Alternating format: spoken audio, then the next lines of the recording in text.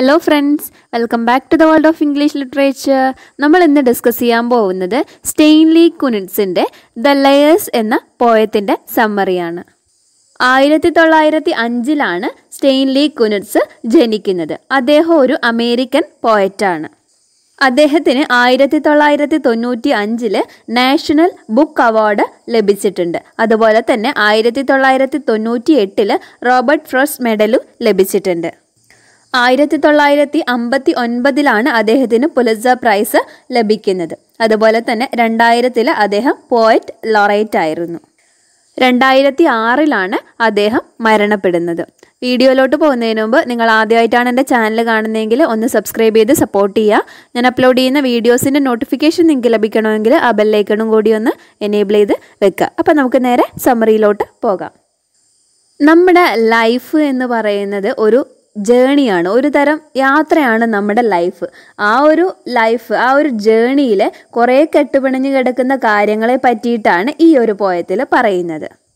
ഇത് ഫ്രീ വേഴ്സിൽ എഴുതിയിരിക്കുന്ന ഒരു സിംഗിൾ സ്റ്റാൻസ പോയാണ് ഒരു വ്യക്തിയെ അനുഭവങ്ങൾ എങ്ങനെയാണ് മാറ്റുന്നത് എന്ന് ഈ ഒരു പോയത്തിലൂടെ നമുക്ക് മനസ്സിലാക്കാൻ സാധിക്കുന്നതാണ്.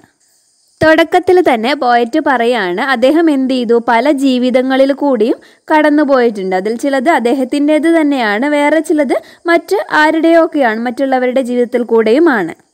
അദ്ദേഹത്തിന്റെ അനുഭവങ്ങൾ കാരണമായിട്ട് അദ്ദേഹം ആരായിരുന്നോ? അത് അല്ലാതാക്കി. മുമ്പ് ആരായിരുന്നോ അതല്ലാതെ ഇപ്പൊ വേറെയായി. അതല്ലാതായി പോയി അദ്ദേഹം പറയാണ് അദ്ദേഹത്തിന് ഒരുപാട് മാറ്റങ്ങൾ വന്നിട്ടുണ്ട്. ഇങ്ങനെ ഒരുപാട് മാറ്റങ്ങൾ വന്നിട്ടുണ്ടെങ്കിലും അദ്ദേഹം എന്ത് ചെയ്തിട്ടുണ്ടായിരുന്നു? അദ്ദേഹം സ്വന്തം ഒരു അസ്തിത്വത്തിൽ നിന്ന് മാറിപ്പോകാതിരിക്കാൻ ഒരുപാട് ശ്രമിച്ചിട്ടുണ്ടായിരുന്നു. പിന്നീട് അദ്ദേഹം പറയുന്നത് ഒന്ന് തിരിഞ്ഞു നോക്കുകയാണെങ്കിൽ തിരിഞ്ഞു നോക്കാതിരിക്കാൻ എന്ത് ചെയ്യില്ല? പറ്റില്ല. തിരിഞ്ഞു നോക്കുമ്പോൾ എന്താണ് സാധിക്കുന്നത്? അദ്ദേഹത്തിന് മുന്നോട്ട് പോകാനുള്ള ഒരു ശക്തി കിട്ടുകയാണ് ചെയ്യുന്നത്. പിന്നീട് അദ്ദേഹം പറയാണ് അദ്ദേഹം നോക്കുമ്പോൾ ഈ മൈൽ സ്റ്റോൺസിലേക്കുള്ള ഹൊറിസോൺ എന്ത് ചെയ്യാണ് കുറഞ്ഞുകൊണ്ട് വരികയാണ് ചെയ്യുന്നത്. ഈ ഉപേക്ഷിച്ച് കഴിഞ്ഞ എല്ലാം കഴിഞ്ഞ ക്യാമ്പ് ഫയറുകളിൽ നിന്നുള്ള തീയും പുകയും ഒക്കെ എന്ത് ചെയ്യുന്നു നമ്മളെ പിന്തുടരുന്നു എന്നാണ് അദ്ദേഹം പറയുന്നത്. വലിയ ചിറകുള്ള ക്ലീനിങ് ബേർഡ്സ് ഈ കെട്ടുപോയിട്ടുള്ള ക്യാമ്പ് ഫയറുകളുടെ മുകളിൽ വട്ടമിട്ട് പറക്കുന്നുണ്ട്. ഈ മൈൽ സ്റ്റോൺസിന്റെ കാര്യമൊക്കെ പറയുമ്പോൾ ഇവിടെ ഡെത്തിനെയാണ് അർത്ഥമാക്കുന്നത്. ഇവിടെ സ്കാവഞ്ചർ ഏഞ്ചൽസ് എന്നാണ് യൂസ് ചെയ്തിരിക്കുന്നത്. പക്ഷേ അതൊരു മെറ്റഫറാണ് ഇവിടെ കാണിച്ചിരിക്കുന്നത് എച്ചിലൊക്കെ തിന്നാൻ വരുന്ന സ്കാവഞ്ചർ ബേർഡ്സ് ആണ്. പിന്നീട് അദ്ദേഹം പറയുന്നത് ഈ ലവിൽ കൂടി സ്നേഹത്തിൽ കൂടിയിട്ട് ഒരുപാട് കൂട്ടുകാരെ അദ്ദേഹം നേടിയെടുത്തിട്ടുണ്ട്. അവർ അവിടെ എവിടെയൊക്കെ ആയിട്ട് ചിതറിക്കിടക്കുകയാണ് സ്കാറ്റേഡ് ചെയ്ത് കിടക്കുകയാണ്.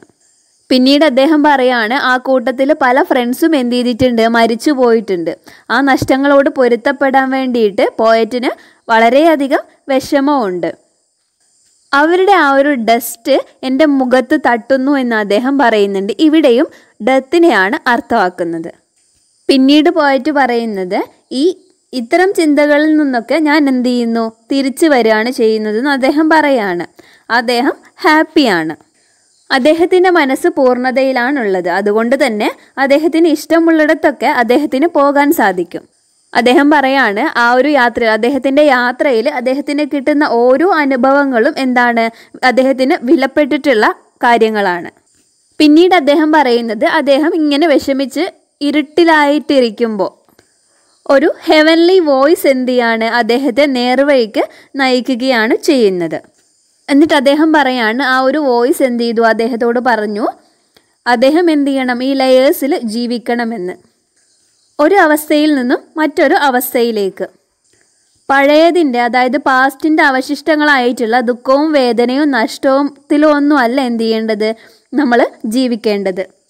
ജീവിതം എന്നുള്ളത് പല ലെയേഴ്സിലായിട്ടാണ് ഉള്ളത് ഒരു ലെയർ കഴിയുമ്പോൾ പുതിയ പ്രത്യാശകളുമായിട്ട് അടുത്ത ലെയറിനെ സമീപിക്കണം. പുതുതായിട്ട് വരുന്ന കാര്യങ്ങൾ ആസ്വദിക്കാൻ വേണ്ടിയിട്ട് തയ്യാറാകണം. പാസ്റ്റിലുണ്ടായിരിക്കുന്ന ദുഃഖങ്ങളും വേദനയും ഒക്കെ ഓർത്തിട്ട് നമ്മൾ അതിൽ നെടുവീർപ്പിടാതെ എന്ത് ചെയ്യണം? പുതിയൊരു ജീവിതത്തിലേക്ക് പ്രത്യാശയോടുകൂടി പ്രവേശിക്കണം. പിന്നീട് അദ്ദേഹം പറയുന്നത് അദ്ദേഹത്തിന് എന്തറിയില്ല? ഫ്യൂച്ചറിനെ പറ്റിയിട്ട് റീഡ് ചെയ്യാൻ അറിയില്ല. കാരണം എന്താണ്? അത് വരാനിരിക്കുന്നതേ ഉള്ളൂ. വന്നിട്ടില്ല. വരാനിരിക്കുന്നതാണ്.